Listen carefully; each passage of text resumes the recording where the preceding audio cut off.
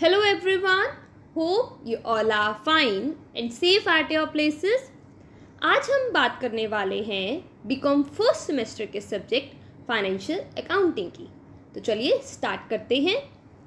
Financial accounting अगर हम बात करें अकाउंटिंग की तो accounting is the language of business accounting जो है वो बिज़नेस की लैंग्वेज है। लैंग्वेज यानी भाषा आपको पता है कि हमारे लाइफ में कितना इंपॉर्टेंट रोल प्ले करती है। लैंग्वेज के थ्रू ही हम अपनी बात एक दूसरे को कह सकते हैं। उसी तरीके से अकाउंटिंग जो है वो बिज़नेस के लिए बहुत ही इंपॉर्टेंट होता है। इसलिए हर एक बिज़नेस जो है वो अकाउंटिंग को फॉलो करता है, यानी अपने अकाउंट्स प्रिपेयर करता है। ओके तो इस सेमेस्टर में हम पढ़ने वाले हैं फाइनेंशियल अकाउंटिंग तो जब भी हम कोई नया टॉपिक पढ़ते हैं या कोई नया सब्जेक्ट पढ़ते हैं तो एक चीज़ हमारे माइंड में आती है कि इसका बेनिफिट क्या है? हम क्यों इसको पढ़ें? सो so, अब हम डिस्कस करते हैं कोर्स आउटकम्स कि फाइनेंशियल अकाउंटिंग पढ़ने से हमें क्या बेनिफिट्स होंगे? First one is financial accounting creates various employment opportunities जैसे हमने बात की कि जो बिज़नेस है उसके लिए अकाउंटिंग बहुत इंपॉर्टेंट होती है। तो अगर उसे अकाउंटिंग करनी है तो वो एम्प्लॉयज़ को हायर करेंगे। तो इससे क्या होगा? अगर आपको अकाउंटिंग की नॉलेज है तो जो एम्प्लॉयमेंट अपॉर्चुनिटीज़ हैं आपके लिए, वो इंक्रीज़ हो जाएँगी। जॉब अपॉर्चुनिटीज़ जो हैं, वो आपके पास ज़्यादा होंगी। तो पहला बेनिफिट ये है कि ये एम्प्लॉयमेंट अपॉर्चुनिटीज़ क्रिएट करता है। नेक्स्ट इज़ फाइनेंशियल अकाउंटिंग पढ़ने से हमें कौन कौन से टॉपिक्स के बारे में नॉलेज होगी? या किस किस टॉपिक के बारे में हम जान पाएँगे? So student will able to get knowledge about इसमें हम क्या क्या पढ़ने वाले हैं? अकाउंटिंग अकाउंटिंग क्या होती है? अकाउंटिंग प्रिंसिपल्स और उनकी एप्लीकेशन कि उनको कैसे अप्लाई किया जाता है? Accounting standards accounting equation journal ledger trial balance financial statements क्या होता है? कैसे प्रिपेयर करते हैं? Depreciation various methods of depreciation difference between provisions and reserves error and their rectification हम बहुत सारे कंसेप्ट के बारे में इसमें नॉलेज ले सकते हैं। तो हम इसमें इन सब कंसेप्ट की बात करने वाले हैं। नेक्स्ट इज़ सिलेबस कि हमारा सिलेबस क्या रहेगा, जिसको हमें फॉलो करना है इस सेमेस्टर में।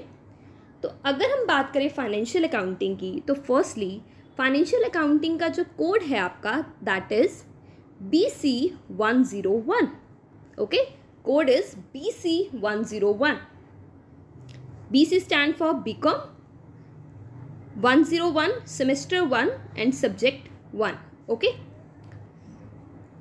so financial accounting का जो हमारा सिलेबस है, वो ये है, जिसमें फ़र्स्ट जो आपका पार्ट है दैट इज़ फाइनेंशियल अकाउंटिंग जिसमें हम फाइनेंशियल अकाउंटिंग के बारे में डिस्कस करेंगे that is meaning need objectives book keeping accounting branches principles rectification general ये सब हम इसमें डिस्कस करने वाले हैं। नेक्स्ट है हमारे पास कैपिटल एंड रिवेन्यू इसमें हम डिस्कस करेंगे कैपिटल और रिवेन्यू आइटम्स क्या होती हैं, कैसे उनके बीच में डिफ्रेंशिएट किया जाता है। Next is depreciation provisions and reserves next is final accounts final accounts में क्या क्या प्रिपेयर होता है? Accounts of non profit organisation non profit organisation के अकाउंट्स के बारे में हम यहाँ पे बात करेंगे.